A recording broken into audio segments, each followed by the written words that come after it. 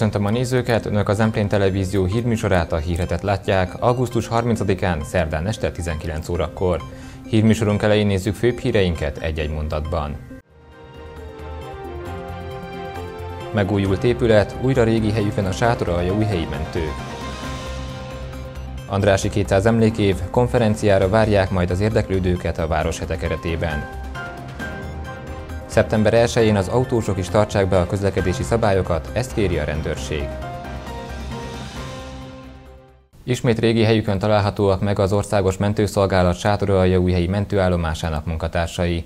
Az elmúlt napokban költöztek vissza a másfél évben a városellátó szervezet épületében biztosított ideiglenes helyükről az Erzsébet kórház mellett található állomásra. Belső felújításon esett át az épület, emellett pedig megfiatalodott a gépjármű állomány is. Erről számolt be híradónknak a mentőállomáson tett látogatása során Kádár Balázs, az OMSZ Észak-Magyarországi régiójának igazgatója.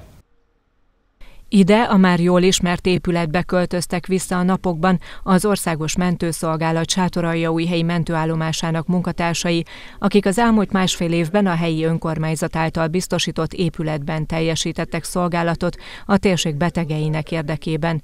Ez alatt az idő alatt pedig egy belső felújítás valósult meg az állomáson, ami az itt dolgozók munkakörülményeinek javítását célozta meg. Augusztusban sikerült visszaköltöznünk, egy teljesen felújított, kifestett, eh, minden igényt kielégítő, új bútorzattal rendelkező, csodálatos, tiszta és világos mentőállomásra, ahol én azt gondolom, hogy a bajtársak most már tényleg méltó körülmények között egy biztonságos eh, gépészeti háttérrel tudják a 24 óra szolgálataikat tölteni. A Sátoralja újhelyi mentőállomás és annak munkatársai térségi szerepet látnak el, ezért is fontos, hogy korszerű körülmények között dolgozhassanak, tette hozzá a regionális igazgató. Ez egy nagyon komoly stratégiai pont, tehát e, nyilván e, főút mellett van a lakosságszám jelentős, a, a környezet, a turizmustól kezdve nagyon sok mindent tudnék említeni, hogy miért fontos, és természetesen azért, mert itt van egy olyan városi kórház, amelyik a, a mai napig e, ugye üzemel, nagyon sok beteget látnak el itt is, azonban, hogyha további, magasabb szintű ellátásra van szüksége egy betegnek, akkor a megye központba kell innen beküldeni, és gyakran előfordul az, hogy a mentőautóink kórházak közötti szállításokat végeznek, és így jutnak el a betegek a megfelelő magas szintű ellátáshoz Miskolcra. Ezzel együtt az is elhangzott, hogy megfiatalodott a gépjármű állomány is, ami szintén a térségben élők javát szolgálja. A masszás mentőszagát minden évben, minden különböző mennyiségben tud új mentőgépjárművekhez jutni. A jelenlegi életkor a mentőgépjárműveknek Magyarországon az rendkívül jónak mondható, tehát körülbelül 5 évet ér el átlagosan azokat az autókat, amiknek a futás teljesítménye most már esetleg eléri azt a határt, amikor érdemes cserélni, ezeket sikerül lecserélnünk, és teljesen új e, gépjárművek jönnek. Azok pedig, amelyekben már nagyobb volt a futás teljesítmény, azokat főleg tartalékgépkocsiként alkalmazzuk, e, de ugyanúgy a rendelkezésünkre állnak. Sátoralja Újhelyváros önkormányzata a lehetőségeihez mérten több módon is igyekezett segítséget nyújtani a fejlesztés kapcsán. Természetesen anyagi hozzájárulással mindenképpen a, a belső felújításra vonatkozóan, mert hogy méltatlan volt a, az állapot a, a, a mentőállomásnak helyben.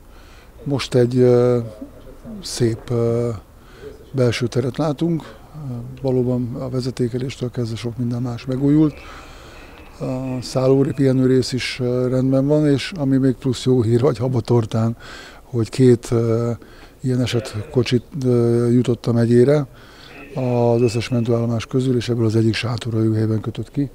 Egy korszerű, a legmodernebb, most használható legmodernebb lélegeztetőgéppel, EKG géppel, defibrillátorral, mindennel, ami, ami szükséges egy beavatkozás esetén, vagy szükséges lehet, rendelkezik.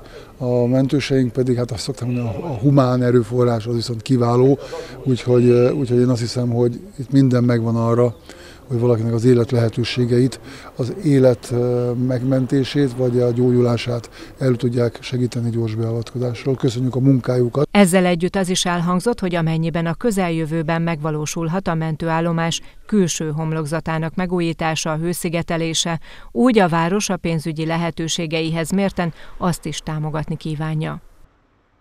Az Andrási 200 emlékév jegyében konferenciára várják majd a téma iránt érdeklődőket helyen.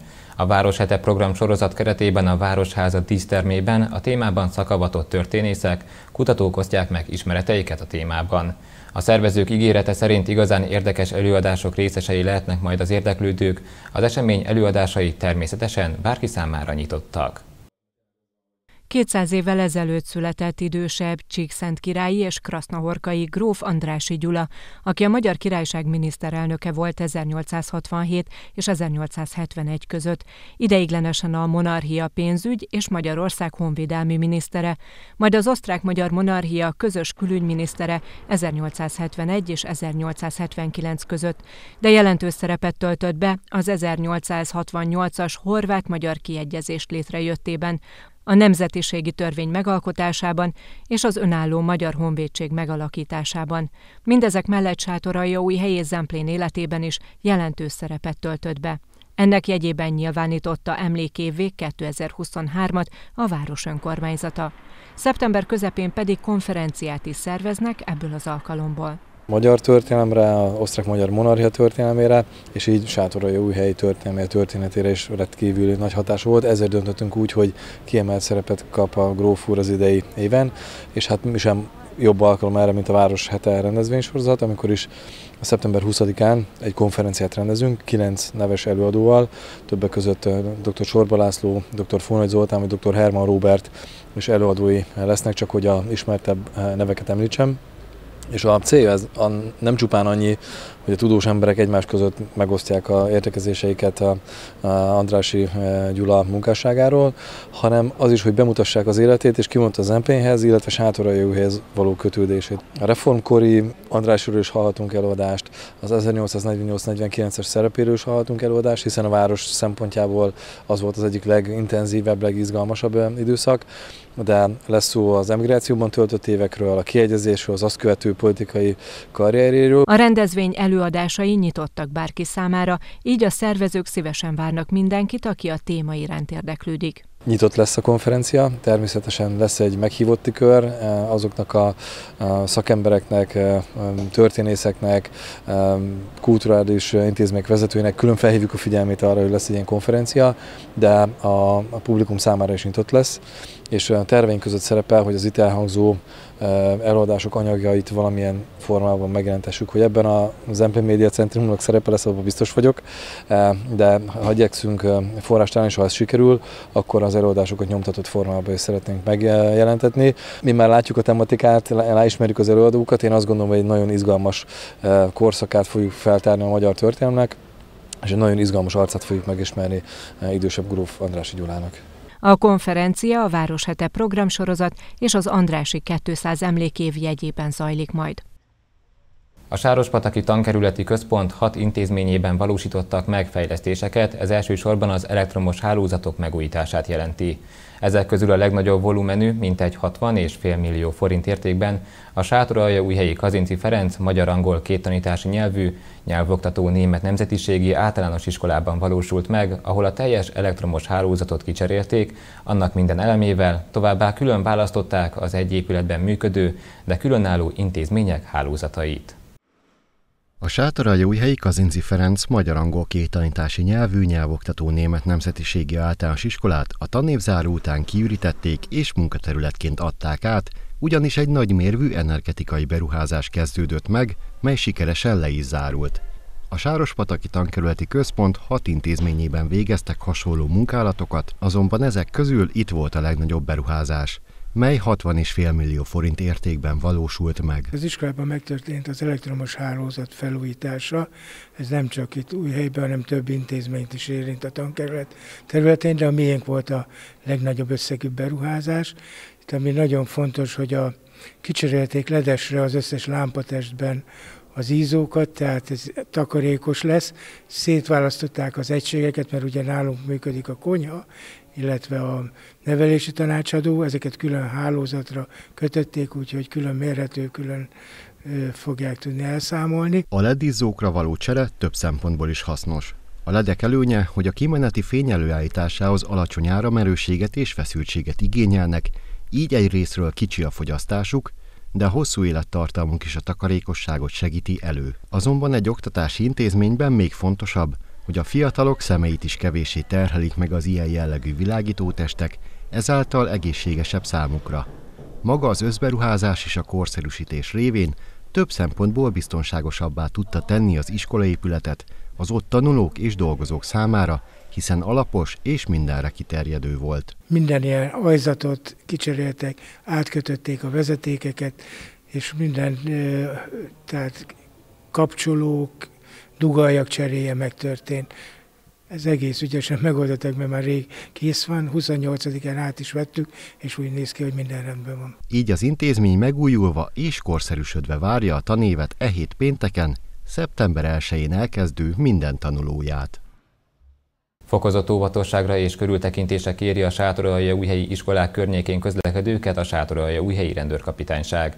Mint arról már korábbiakban beszámoltunk, a legforgalmasabb utcákon pénteken reggel a rend őrei segítik majd az iskolába igyekvőket, azonban néhány utcán a kressz szabályok betartására és az óvatos közlekedésre kifejezetten felhívják az autósok és a gyalogosok figyelmét is a baleset megelőzés jegyében. A Deák, a Petőfi Sándor, valamint az Esze Tamás utca, illetve a Papsor, helyen elsősorban ezek azok az utcák, amelyek az átlagosnál is jobban terheltek az iskolai időszakban. Éppen ezért a helyi rendőrkapitányság kiemelt jelenléttel segíti itt is az iskolába igyekvő gyerekeket. Ezzel együtt a balesetmentes közlekedéshez arra is szükség van, hogy a szülők, a gépjárművel közlekedők is betartsák a legalapvetőbb szabályokat, és nem utolsó sorban a nehez nehezebb helyzetekben, torlódások esetében előzékenyek legyenek. Mi azt szeretnénk kérni a városban közlekedőktől, mind gyalogosan, mind pedig gépjárművel közlekedőktől, hogy fokozottan figyeljünk már minden iskolánál a gyermekekre, illetve a közlekedésre, a parkolásra, a megállásokra. Ne legyen már az, hogy most egyszer megállok, mert én most csak kiteszem a gyerekemet és megyek, és azzal már feltartom a forgalmat. Mindenkit arra kérnénk, hogy a kijelölt helyen álljanak meg a gépjárművel, ott tegyék ki biztonságosan a gyermeket, mind az iskolánál, mind az avonálnál. A Deák utcán a Kazinci Ferenc általános iskola és a Deák úti egymi diákjai közlekednek, bár kétirányú a forgalom, érdemes arra odafigyelni, hogy egy szakaszon csak ez utóbbi intézménybe szállító autó állhat meg. A papsor pedig Zsák utca, így itt különösen hamar kialakulhat dugó.